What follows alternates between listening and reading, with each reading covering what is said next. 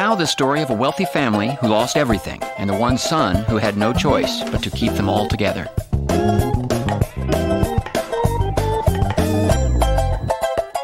It's Arrested Development. Michael was sharing his bed for the first time in years. Unfortunately, it was with his younger brother, Buster. Buster. Buster. Hey, hey, whoa, whoa, Buster. Hey, brother. I don't think us sleeping together is working out. You're a grown man. You should be living with your mother. Yeah, I miss mom. I can tell. Hey, good morning. What are you doing? It's my ethics essay. I'm supposed to write 200 words on the morality of war, whether a preemptive strike is ever justified.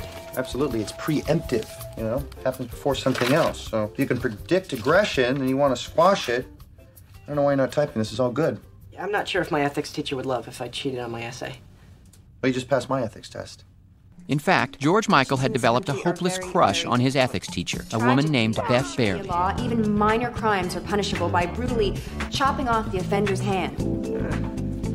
No ring? Can't wait to meet her at parent teacher night. Oh, yeah, Dad, and, uh, try to remember everything she says about me. Okay? Michael, I need you to do something about my son. I totally agree, Mom. Buster goes home, we flip the mattress, it's never happened. Not Buster. Read this.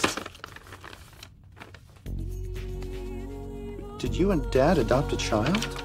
The SEC was onto us. Your father thought it would make us look charitable. He must have forged my signature. Well, then maybe I'll get a son who will finish his cottage cheese. You've got to get me out of this. I'll call social services, but you must take Buster back. Okay. Great. But I'm not taking care of him either. I don't have the milk of mother's kindness in me anymore. Yeah. That udder's been dry for a while, though, hasn't it? Kind of. Hello. Michael. I got a couple of girls here. A couple of fun girls. I thought I'd bring you in on. Oh, I don't know, Gob. But Come on, Michael. So We had a little disagreement. Recently, Gob had discovered that Michael was interested in his now ex girlfriend, Marta. I'm offering you an olive branch here. Yeah, yeah, no, I, I, I know, and, and I, I appreciate